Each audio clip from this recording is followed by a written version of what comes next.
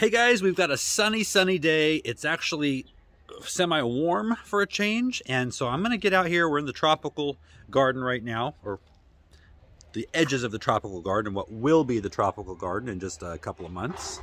And it's time to do some cleanup and some cutting back because we're past our last frost now. There's no temperatures below 42 in the in the 10-day forecast. So there shouldn't be any risk of frost unless something crazy happens. I'm standing here in front of one of the beds we're going to be cleaning out. There's some SunPatiens and cannas that definitely need some work. And it's amazing that only uh, three months ago, three and a half months ago, I was sitting in front of this bed doing a video and you guys all commented on how great it looked, and it did. But with the cold and the rain and the hail, it has seen much better days. We're gonna tackle these pots as well. Also, these ginger need to be cut back. I'll show you how to do that. These poor alocasias, elephant ears. You can see this one did its job. I left it on, it protected this one from frost, but got some work to do there. Unfortunately, some of my Monstera deliciosas did get damaged by the cold. A lot of them look good. I'm only gonna take off the worst ones. So it will only minimally affect the look of this bed and only for a short time. As soon as the weather starts to warm up, it's gonna explode with growth again and it's just gonna be nice and lush. And I know a lot of you looking at snow right now are already thinking that looks pretty lush to me. So I'm gonna start over here in the SunPatiens and Cannas. And you can see that we've got a lot of the old growth, but then there's also new sprouts and weeds coming up. With the SunPatiens, you can see a lot of damage. However, you can also dig down here and see a lot of new growth coming out and actually some flower buds. So for these SunPatiens, because we do live in a mild winter climate, they're going to live through the winter in place. You could also take cuttings of these though in the fall and grow them indoors all winter and then put them back out in the spring. And you don't want to do any of these this cutting back until all danger of frost is past because as insignificant as these upper leaves look, they are protecting the lower leaves and branches from frost. But we are past that now, so I'm going to cut all of these way down just above a node or just above where I see new growth happening, all at about the same level so the plant looks even when I'm done and will grow back evenly.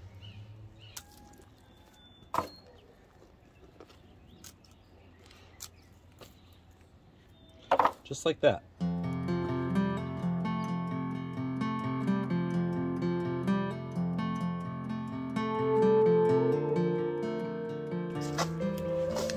I'm actually finding with these SunPatiens that it's just easier to snap them off rather than to use the clippers. They actually have a really satisfying snap and they snap off at exactly the right place above a node.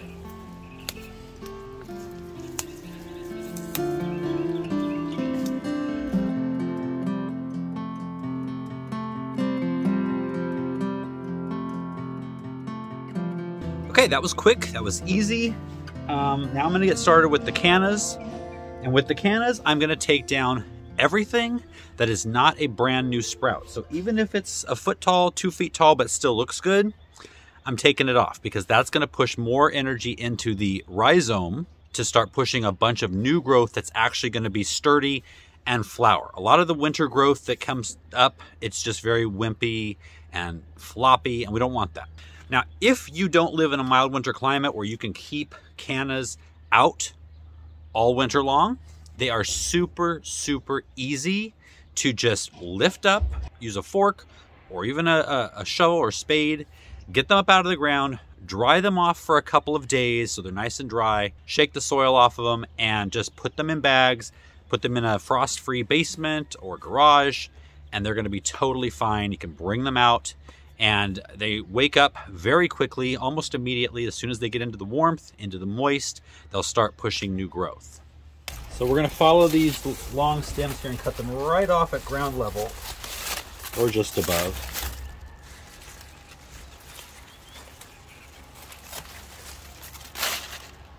Now this growth here that looks new, I'm actually gonna chop it back because it grew in cold weather, so it's gonna be more floppy. It's not gonna, especially on the tall varieties where these aren't super tall, so it's questionable. These here that are about a foot tall or less, I'm gonna leave those. This is just gonna push more energy into the rhizomes to start busting through a whole bunch of new growth.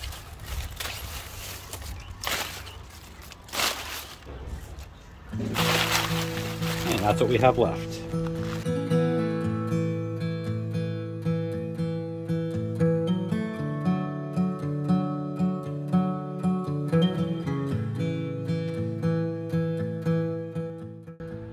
All right, just as easy as that.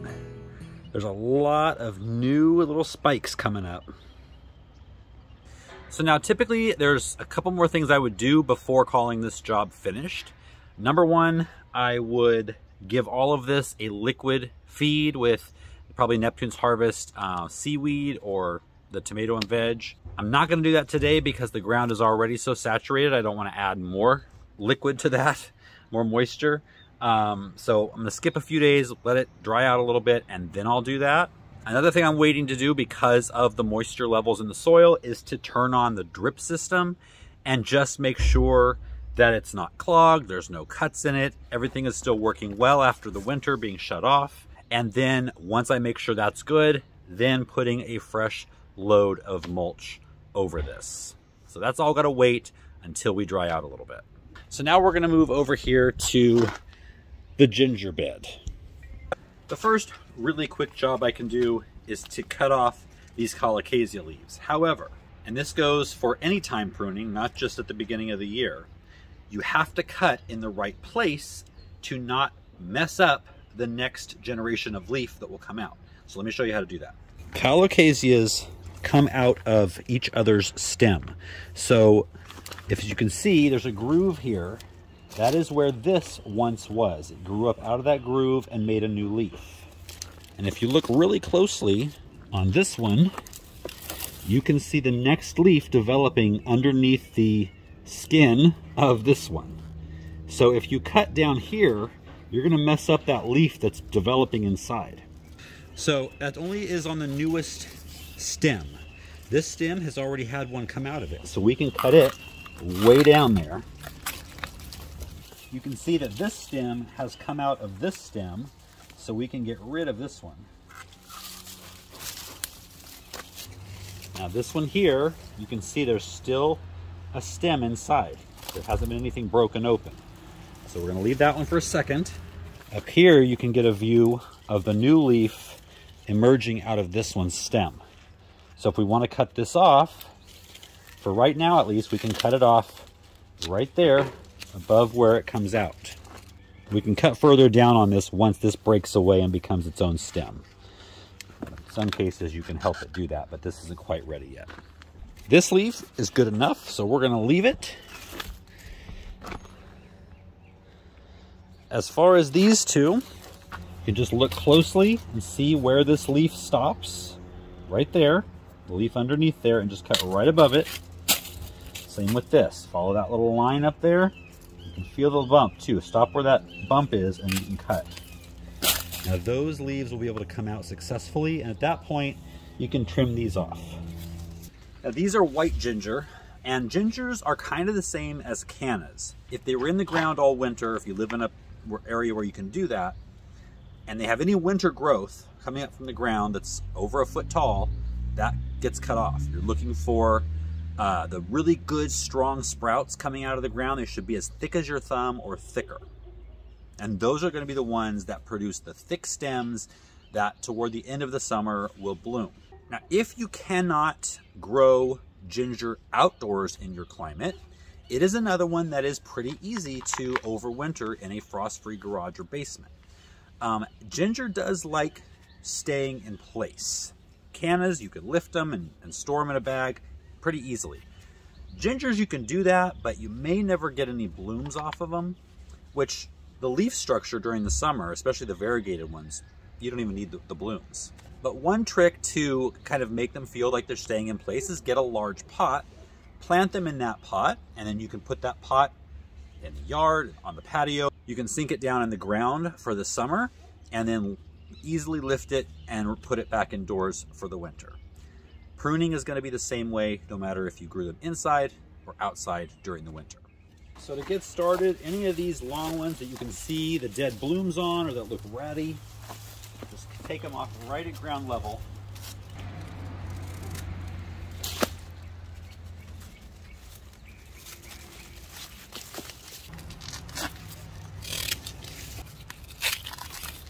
Now with gingers, here's where you can make a judgment call. This is some new winter growth. Look how floppy it is. So that's obviously going to be removed. However, we've got this one here that when you look down at the bottom, you can see it's got a big, strong base on it where it came out of the ground. These two also. So I'm going to go ahead and leave those. And you can see looking closer you see these big sp uh, spikes getting ready to come up? These are nice, big, hefty, strong looking spikes. Look at that. So we're gonna leave those. This, we're not leaving. This will do nothing.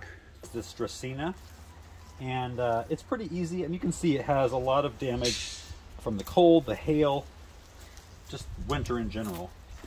Um, all we're going to do is come down starting at the bottom and just peel the leaves down, exposing more of the trunk. I'm just going to leave these little sprigs at the end.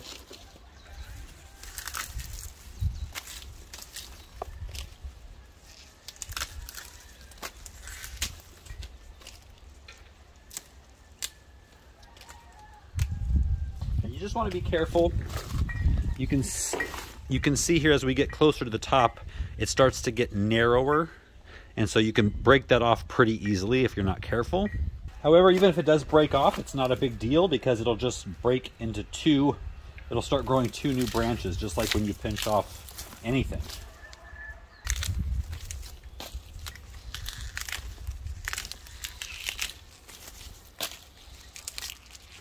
Like it might be developing a little rust. Just doesn't like cold, damp weather, which is what we've had.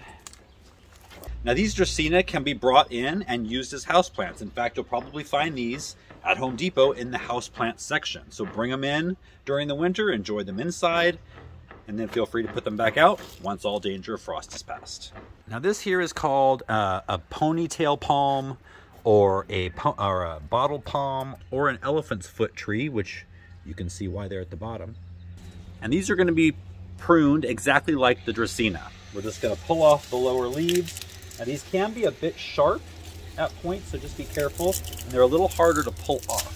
Now, I'm not gonna pull off as many because this looks a lot better than those Dracaena did.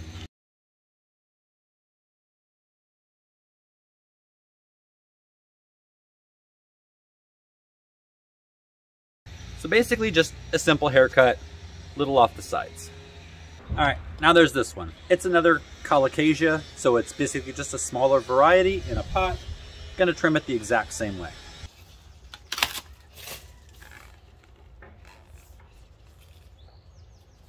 So this does not have the leaf coming out of it yet, so we go to the top of the little triangle, cut it right there.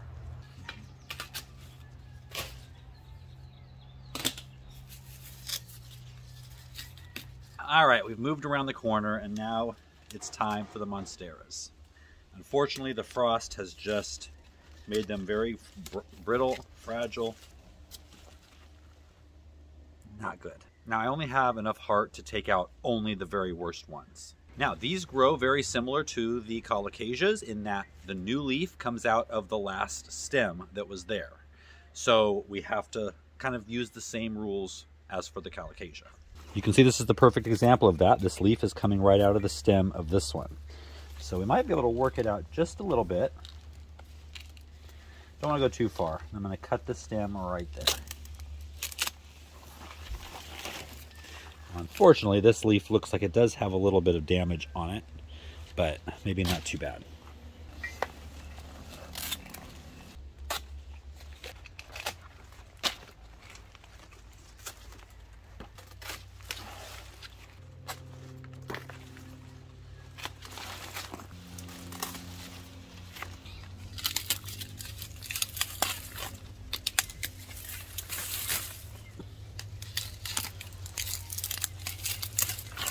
Everything looks so nice and tidy.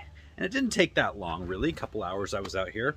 Now again, on all of these, once we dry out a little bit, I'll go ahead and fertilize with a liquid organic fertilizer, check all the drip emitters, make sure they're working right, and then put a layer of mulch on. But look how nice and neat compared to before.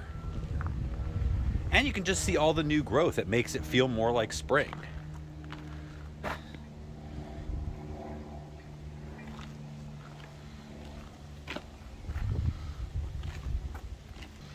Now I was a little more heartless on this side. I was able to cut off most of the damage and we still have a good amount left. What's great though is that the Monsteras are starting to grow up now. Last year they were kind of covering the ground, just kind of growing along the ground.